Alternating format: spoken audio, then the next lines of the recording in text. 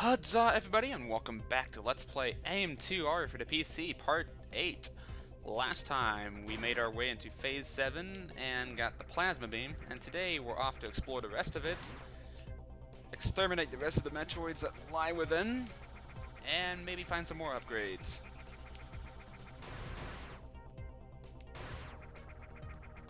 And it looks like the Metroids here will be pretty easy to find seen a lot of passageways with like blatant Metroid shells lying about, which kind of indicate where they'll be. So, I think we'll be good to go from here. Ew, yucky. Thankfully, the Zeta Metroids are less annoying than the, the Gamma ones, simply just from the fact that their hitboxes are more forgiving. also, it just seems like because their movement isn't as sporadic, I don't know, it just seems like it's they're easier to deal with. That doesn't make them any less easy, but... Actually, yeah, it does.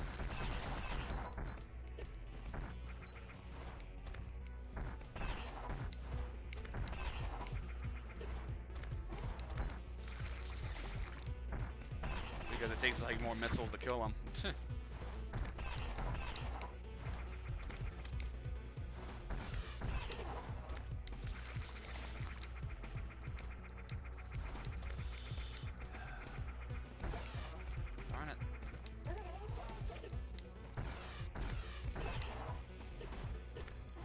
Ah, I can't even move. Am I about to die to this again? I swear to God. God. Those things are retarded.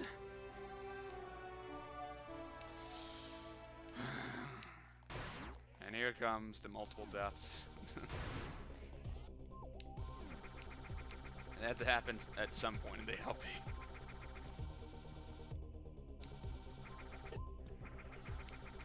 It's like it locks you into the freaking wall and you can't even move. just gonna be ruthless with super match missiles from here on out.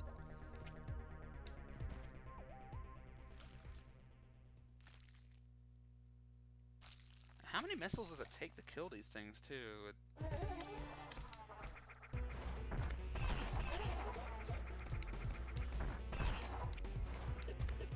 Uh, see, like, it gets you locked into, like, a bad position, and it's like, what do?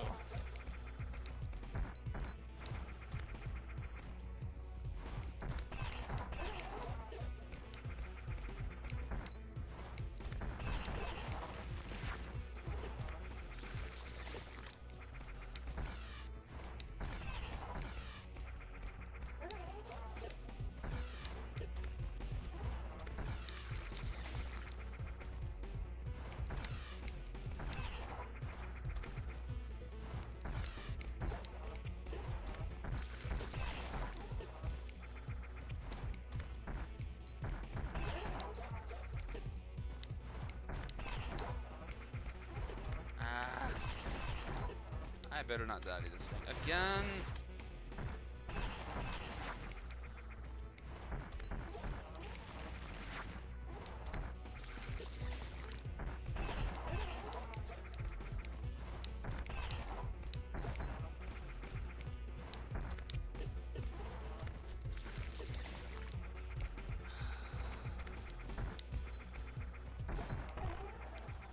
Freaking time. Oh. Why are you things so annoying to hit?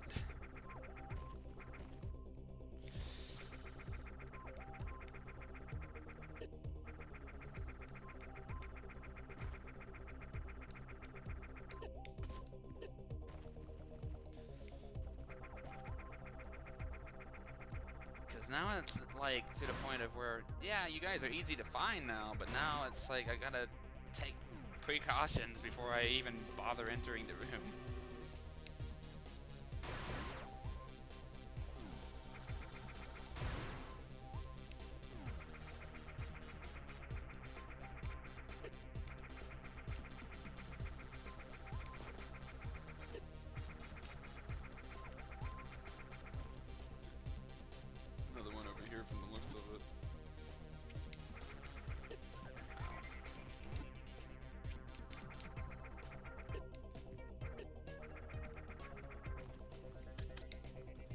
Layout for this room be forgiving? Uh, doesn't. Oh. They don't provide very lenient battlefields for these things, do they?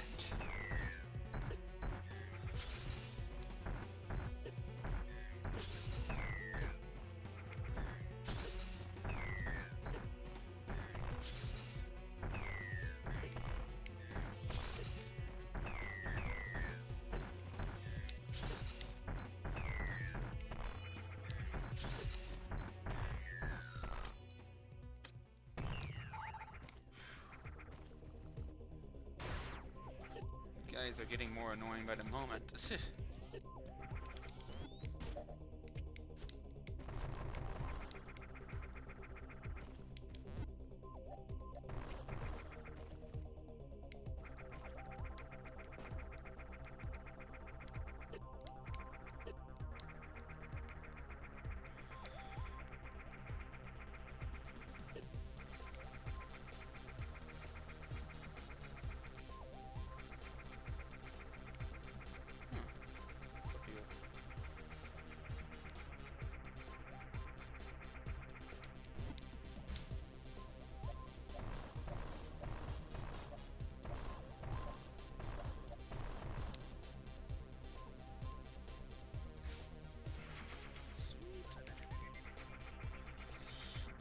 spider ball's still good for something.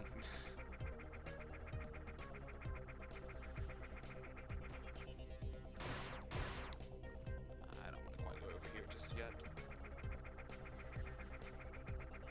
Ooh. Now that's some impressive artwork. Holy crap. Okay. Oh my go.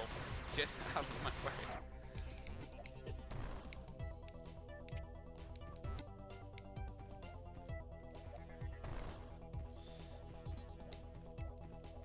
This is like far less annoying than the one in Metroid 2, because in that game, it was just like complete and utter darkness. Like you didn't have like any indicated guide like pathways. You kind of just had to go off of instinct. I had to kind of make that less annoying.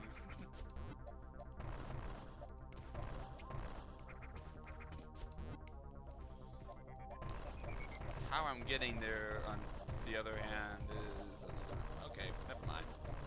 So hard. Oh. Well.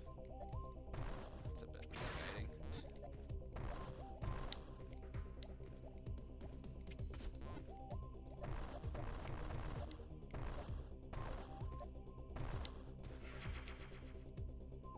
Missile tank acquired. And I think we're about to get what's presumably our last energy tank in the game too, so we'll be pretty good on those and just a few. Okay, I just experienced a bit of lag there. I don't know what was up with that, but... so yeah, I think we're about maxed up on energy tanks now, which is pretty good. Pretty good. I'm satisfied.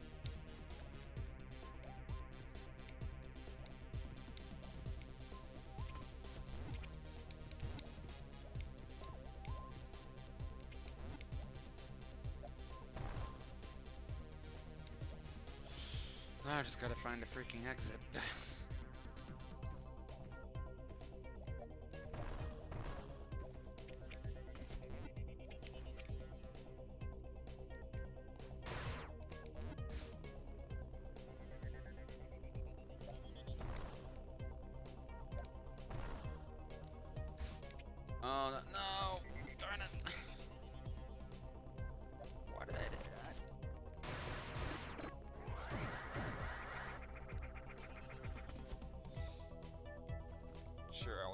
this area, why not?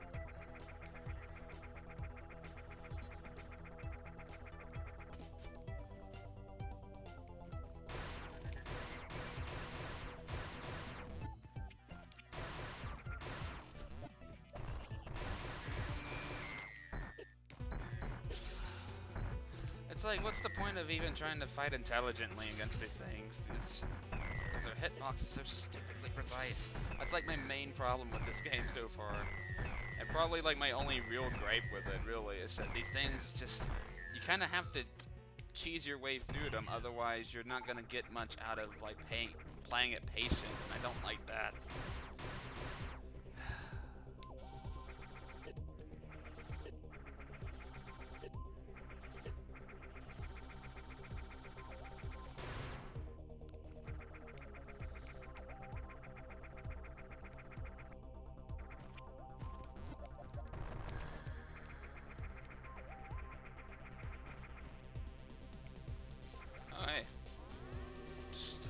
Save station sitting right off in the corner. oh, hey, I can go back and get that. Oh, wait, no, I can't because I don't have power bombs. Boy.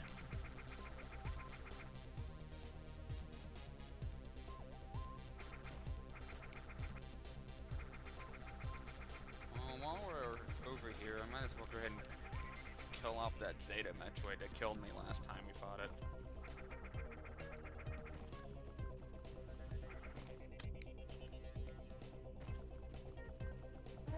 Okay,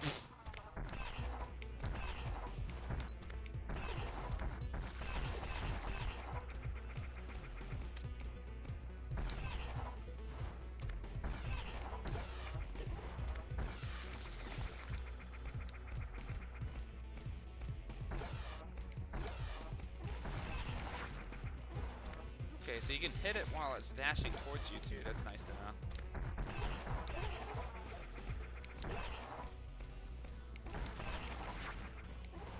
Think my only complaint about the other one I fought earlier was the terrain I had to fight it on. This can kind.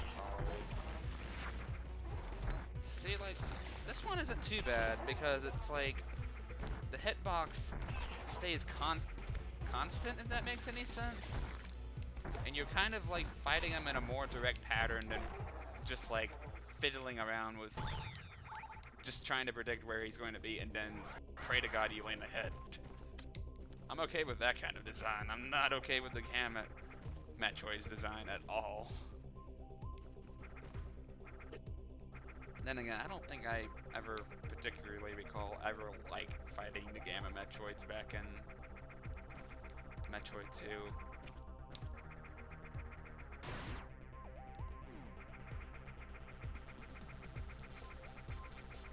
Mostly because like the little shock beam they create, like you can you can't even like shoot past that. It's like some kind of like barrier or something, and it's like really annoying to try to navigate your missiles around without like it deflecting or something. I don't know.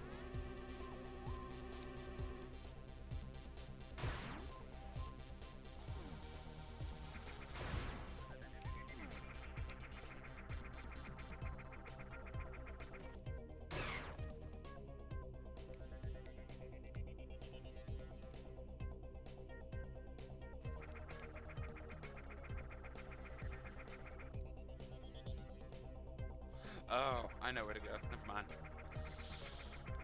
Let's head off in that direction. Let's see what we find.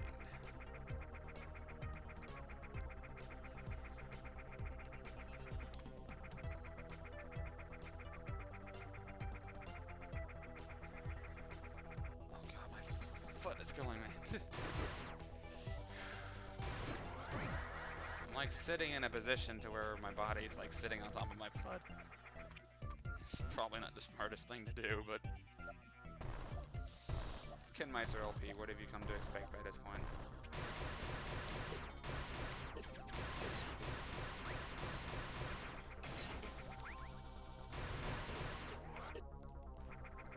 When am I gonna get the screw attack, by the way?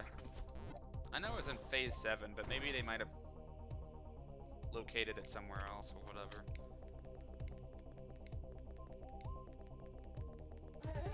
Oh, hey.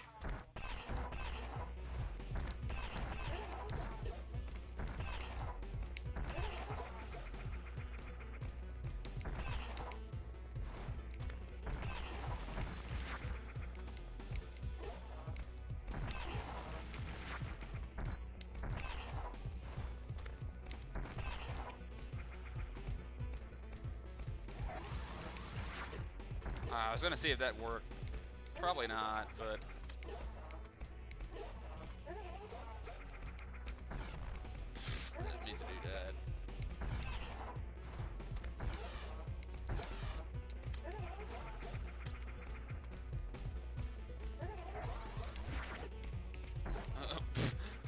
can't even go through the beams. That's okay.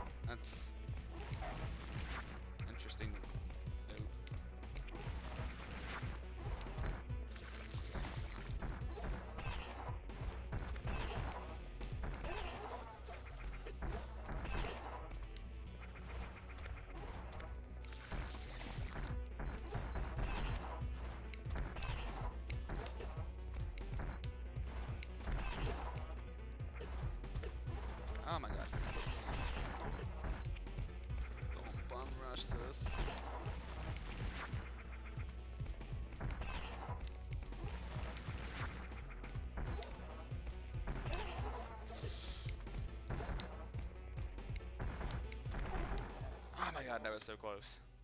I swear, if it got me trapped in that corner, like I did last time, I would have probably died.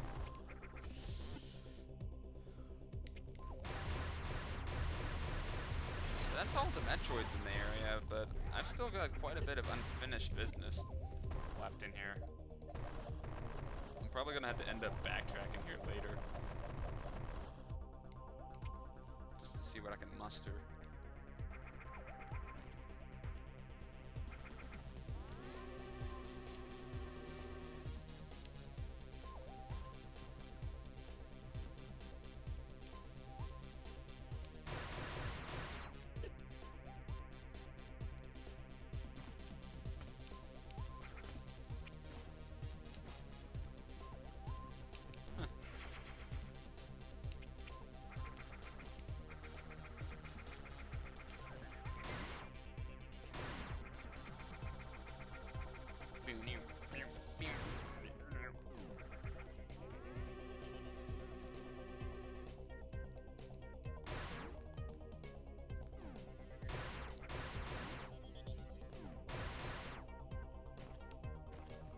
Down here?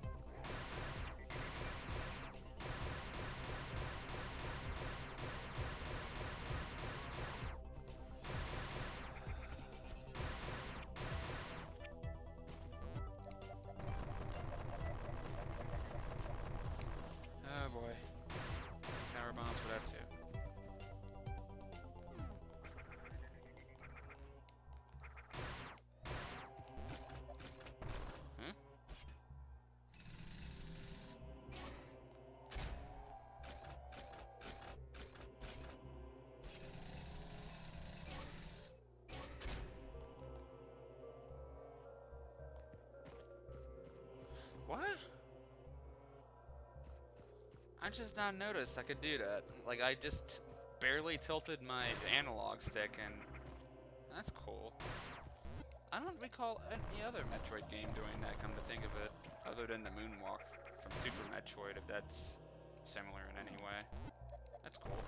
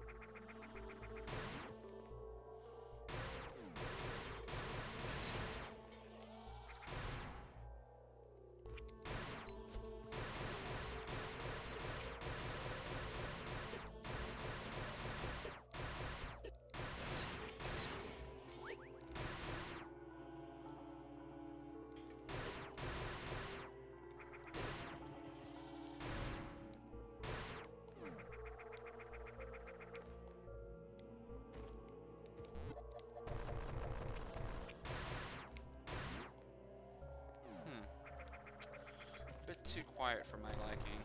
Probably gonna have a boss battle here soon. I can just sniff it around the corner already.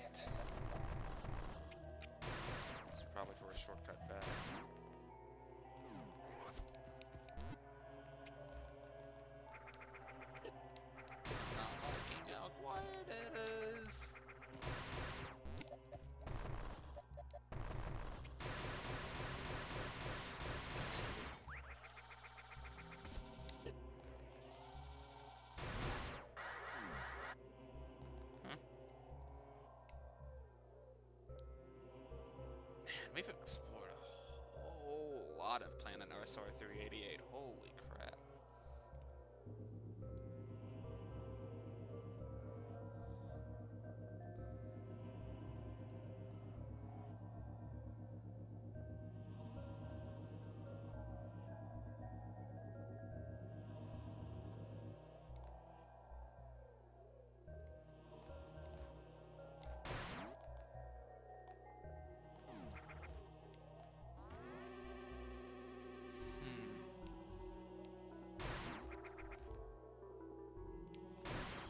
Well then.